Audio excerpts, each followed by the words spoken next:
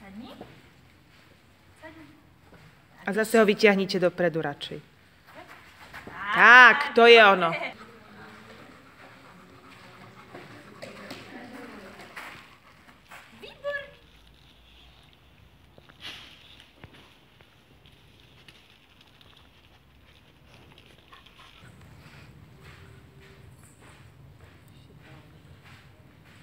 Lahni.